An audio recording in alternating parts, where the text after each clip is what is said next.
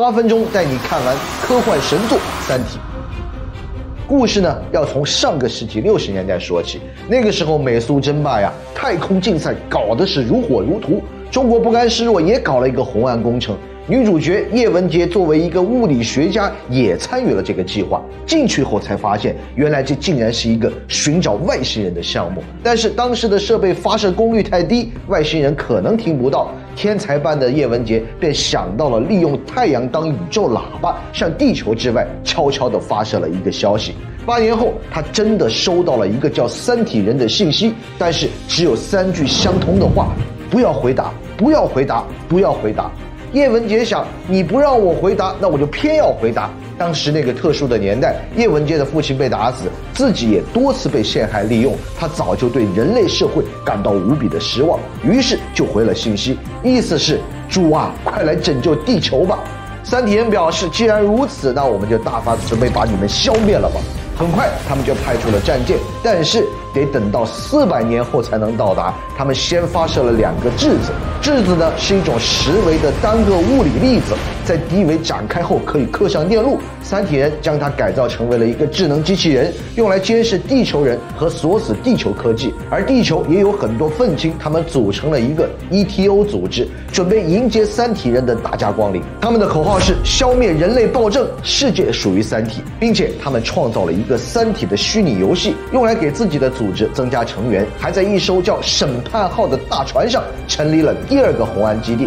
叶文洁理所当然地成为了 ETO 的教主，但是他们很快就被联合国发现了。联合国设计了一个陷阱，用纳米丝将审判号切成了无数片，里面的二五仔全部都切成了数节。联合国也缴获了大量的资料，人类的高层一下子就吓坏了。原来有一个超级文明准备侵略我们。这个时候，三体人表示：“我不演了，我摊牌了。”他们用质子给地球发了个友好的问候：“你们是虫子。”言下之意是我一个小指头都可以碾死你。人类感受到了前所未有的羞辱。虫子怎么了？虫子就不配生存吗？螳臂挡车，万一把轮胎扎破了呢？很快，人类也发现了三体人并非没有弱点。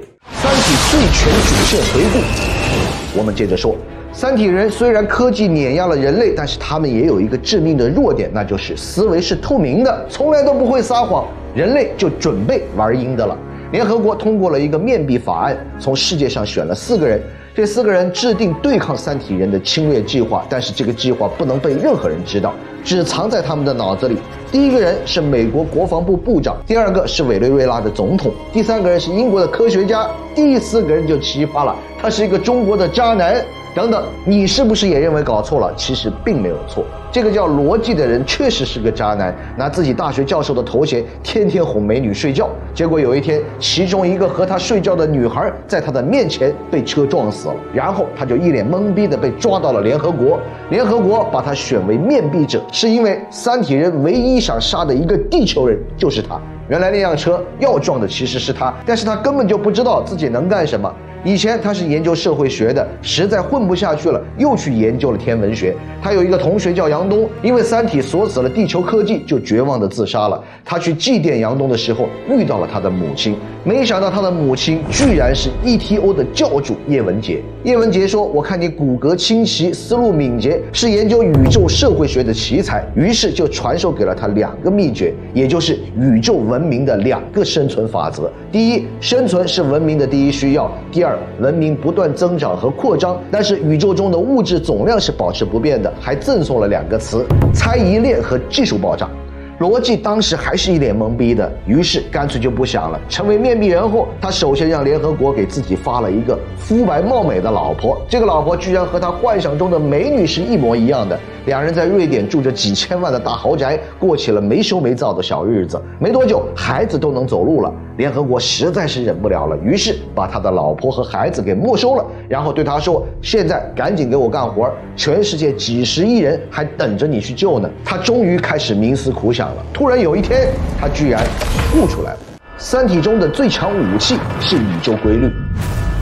罗辑的老婆和小孩被联合国没收了以后，有一天他在冰湖上散步，结果一不小心掉进了冰窟，在生与死的一瞬间，头顶的星空扭曲了，他突然开悟了。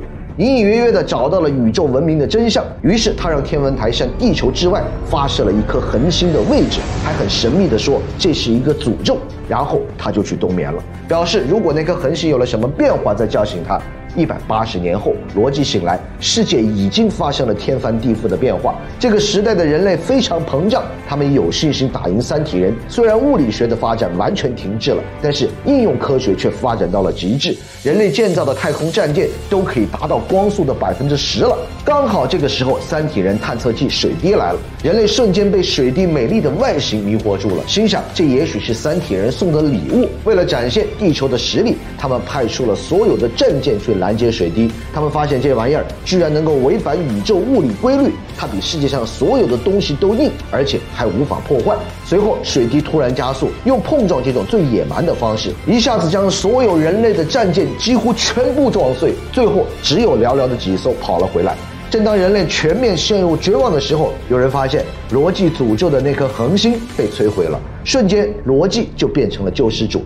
原来宇宙就是一片黑暗的森林，所有的文明都像是拿着枪的猎人，大家平时都是隐藏起来的，谁冒头谁就会被其他的文明干掉。总之就是先下手为强，原因就是因为那两条法则：文明需要生存和扩张，但宇宙的资源是有限的，扩张到最后就会资源不足，开始互相抢夺。总之，整个宇宙陷入了内卷。罗辑选择和三体人直接摊牌，他制作了一个摇篮装置，威胁三体人，只要是他。的 生命体征消失，这个装置就可以对宇宙发射三体人母星的位置，其他的文明就会消灭三体星。三体人一下子就怂了，变得像狗一样的听话。人类要啥给啥，罗辑成为了执剑人。他手里面握着一个开关，一按下，两个文明都会死。不久后，人们觉得他像个独裁者，生怕他哪一天不小心手滑就按了。大家一致同意换个执剑人。此刻，一个带着圣母光环的女人成功竞选，结果三体人立马就发动了攻击。圣母吓得花容失色，赶紧把开关扔掉了。那三体人是否能够入侵成功？人类的命运又会如何？喜欢我的视频，请关注我，下期视频再见。